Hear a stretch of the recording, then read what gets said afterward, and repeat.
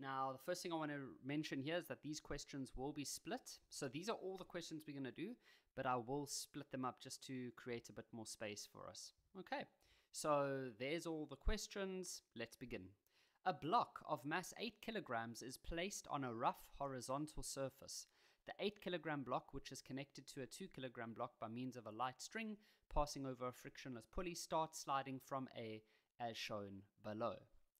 First question State Newton's second law of motion. So before I get the definition, let me explain. Newton's second law is all about using this formula over here F net equals ma. Now, let me quickly talk about Newton's first law. Okay, with Newton's first law, what he discovered was that if you have an object that is resting, or maybe it's moving, so maybe it's resting, or it is moving, but it's moving at a constant velocity. Then, what Newton discovered was that the object will continue to stay like that unless it is acted upon by an unbalanced force. So let's say this block is just chilling there. Let's say there's a book on your table right now in front of you. Or let's say you're watching this on a laptop. That laptop is just chilling on the table in front of you. That laptop will continue to stay like that forever and ever and ever and ever unless an unbalanced force begins acting on that laptop. That's pretty easy to understand. Another one, let's say um, you've got a car that is driving on the highway and it's driving at a constant speed of 120 kilometers per hour. That car will keep driving like that as long as the friction on the road is the same as the amount of force given by the petrol when the person is pressing the accelerator. If those two forces are balanced, that object, that car, will continue to move at that exact same velocity forever and ever and ever unless something changes, unless the forces become uh, unbalanced. Okay? So then let's go one step further. What Newton then said was what will happen if the forces are not balanced? What will happen if um, the forces in this direction and the forces in this direction, what if they are not balanced? Well, that is where Newton's second law comes in. See, the second law came after the first law because he first looked at the first law, which says what will happen if the forces are balanced. Then the second law says what happens if the forces are not balanced. Well, as soon as the forces are not balanced, the object will do something called accelerate. That is what happens when the forces are unbalanced. The object will accelerate. And the acceleration will be directly proportional to the unbalanced force or the F net and inversely proportional to the mass. Let me show you something.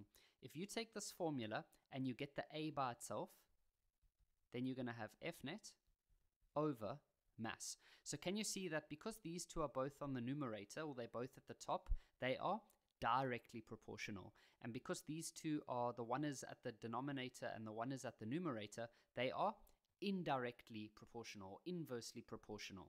Okay? So now if I go get the definition, it'll make a lot of sense. So it says when a resultant, a net force, you can think of that as an unbalanced force, acts on an object, the object will accelerate in the direction of the force at an acceleration that is, here we go, directly proportional to the force and inversely proportional to the mass of the object.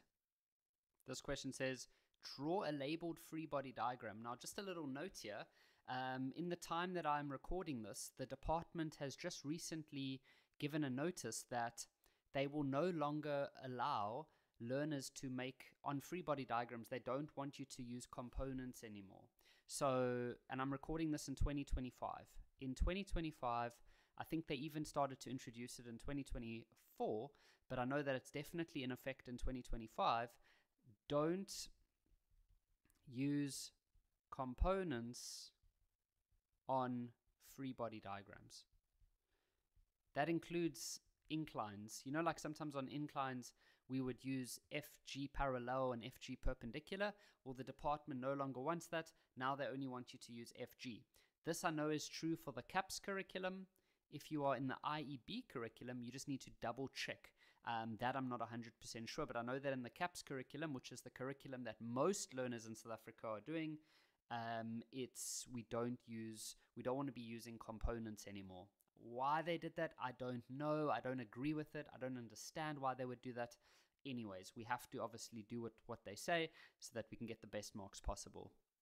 So now we're going to go draw a free body diagram on block, um, the 8 kilogram block. Now for 4 marks, it typically means there's going to be 4 uh, forces. So we know that there's going to be gravity. So I like to say Fg, but there are others you can use. You can say W. You must just check on the memos. There's different things you're allowed to use.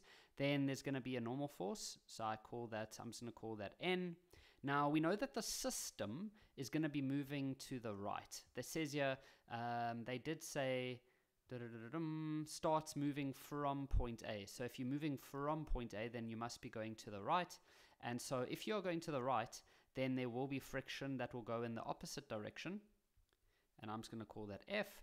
And then here we've got this tension force in the rope. So I'm going to do it like that. I'm not going to break it up into components. Um, and I'm going to put a T over there, for example. And I looked, um, I looked in the memo, and some learners still used the components, and they did actually award the marks. But then on the memo it says accept, but please explain to learners that this is uh, being phased out. Okay, and then I think what I'm going to do, so I just have, I don't want to have only that one as a FG. I'm going to label this as a W like that. That wasn't wrong what I had, but I just feel more comfortable having all of them like that. Okay, instead of having only this one having FG, like force of gravity, um, and then these ones are all just single letters. I'm going to rather just keep it all single letters so it just looks neat. Okay, there we go. So that just stands for W, which is weight. This question says, when the 8 kilogram block reaches point B, the angle between the string and the horizontal is 15 and the acceleration of the system is 1.32. Give a reason why it's not in equilibrium. Well, equilibrium is only when you have Newton's first law, when the object is either not moving or it is moving but at a constant velocity. When you have constant velocity, acceleration is zero. But here we can see that there is an acceleration, and so it can't be at equilibrium. So we can just say um, acceleration is not zero. This one says, use the 2 kg mass to calculate the tension in the string. Okay, so let's look at the 2 kg mass. Let's do a free body diagram. We know that it's got gravity, which I'm going to put as W, and then it's got, there's no normal force. Normal force is only when an object is on resting or not resting or just on touching a surface okay so what else do we have we've we've got this rope which is tension so we're going to put tension okay now don't make these equal those are only going to be equal when the system is not accelerating what you should use is f net equals to ma I'm going to choose down as positive because the system is moving to the right and down okay and so if I do that I'm going to have w as a positive minus t, which is negative, okay? And I'm going to make that equal to ma. So W is its weight, which is 2 multiplied by 9.8. Tension, we don't know. The mass is 2, and the acceleration of the system is 1.32. Then you can just solve for tension. I'm going to take it to the left hand, I mean to the right. And so you're going to end up with 2 times 9.8 minus 2 times 1.32. And so tension will be 16.96 newtons. I'm not going to say up. It is up for this object, but it's not up for this object. Remember, this tension in the rope is the same tension. So you don't really give a direction for that because it's different depending on the part of the rope you're talking about. So they should have actually just said, yeah, um, use the 2 kg mass to calculate the magnitude of the tension in the string. Even on the memo, they don't give a direction. So you just leave it like that, okay? And now this one, and I just want to remind you there are more questions coming up. Remember, we've got two more questions on the next page. So it says here for four marks, calculate the kinetic friction force between the 8 kilogram block and the horizontal surface. Okay, so what's important is that you understand that the tension in the rope here is 16.96. That means it's also 16.96 here. It's one piece of rope. The tension is the same everywhere in the rope, no matter what the angles are, no matter what. Okay, so there we have that. So we have this value on our free body diagram. We know that that is 16.96. Right, So what we know is that we're going to use F net equals to MA again now for this 8 kilogram block. I'm going to choose right as positive because we know that the system is going to the right and down. And so that means you need to know all the forces in the horizontal direction. So that's going to be this one. And then it's also going to be the x component of this one, the x component. Now, we're not allowed to put it on the free body diagram, but when I'm explaining to you here, I can just remind you that remember there's going to be a tension in the x direction, and there's also going to be a tension in the y direction. Okay? And then remember that this angle is 15 degrees. So that means that the tension in the x direction minus the friction force is going to be equal to ma. You see how I just said the tension in the x direction, which is going in that direction, minus the friction must be equal to ma. So that means to get the tension in the x direction, it's going to be the tension, and then you're going to say cos of 15. How did I get that?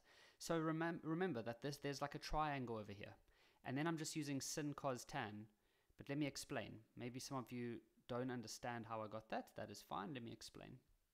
Okay, so we know this tension. We know this tension in this rope. We already calculated that. That is 16.96. We know this is 15 degrees and it's a right angle.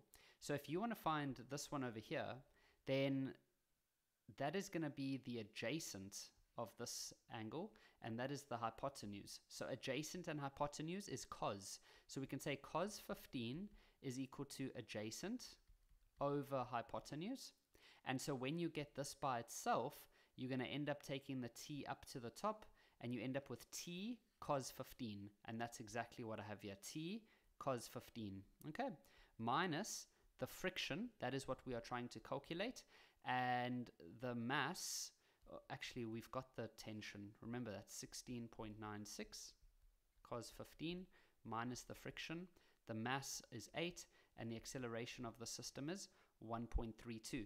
So I'm going to take the friction over to the right hand side, and so we're going to end up with 16.96 cos 15 minus 8 times 1.32. Ah, I've got a piece of, I've got like a little hair or something in my, on the, in the tip of my nose. It's so itchy.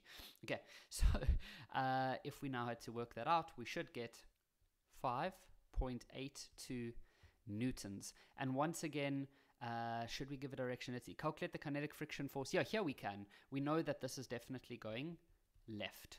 Okay? Just want to quickly add something here. I know a lot of learners they get a bit confused at this last part. They're like, sir, but we said right is positive, and now the answer is positive. So why are we saying left? That's a good question. So it's because over here, we already know that the friction is acting to the left. So we already chose its direction. That's why we put it as a minus, okay? And so we chose it as, we already assumed that it's going to the left. That's why we put it as a minus. So then by getting a positive answer, it confirms that what we chose was the correct direction for the friction. And so that is why we just say 5.82 newtons left. This question says, as the 8 kilogram moves from B to C, the friction force between the block and the horizontal surface is not constant. Give a reason for the statement. Well, normally friction does stay constant, but what you would notice is that as this block begins to move, this angle over here between the rope and this, the horizontal, that angle is probably going to increase, right? You can imagine that that angle is going to get bigger and bigger and bigger. Um, I'll show you a more of a exaggerated drawing. If we have a system like this and you've got a pulley over here, can you see that this angle is very shallow? This angle is very shallow, right? But as it gets closer, as it gets closer, maybe when it's over here, now if you look at the angle, you can see it's got more of an angle, right? So as you get closer, that angle is going to begin to change. So this is only a one mark question. So we could just say that the angle between the rope and horizontal will increase. Okay, this last one says the horizontal surface on which the 8 kilogram block is moving is replaced by another surface made from a different material. Will the kinetic friction force above change? Will the kinetic. Um, okay, so definitely yes, because we know that friction is equal to two things. It's equal to the coefficient of kinetic friction multiplied by the normal force. Now, we know that this part over here is um, the, the way that we, or the, the thing that determines that is the surface, the materials of the surfaces. So maybe we're using, uh, for example, um, glass with a piece of wood, or glass on a piece of rubber, or a tire on concrete. Those materials, the different materials, give us a different coefficient value. Okay, so it says that the horizontal surface is replaced by another horizontal surface from a different material. Will the kinetic friction force calculated in question change? So we're going to say yes, give a reason, the coefficient of kinetic friction will change.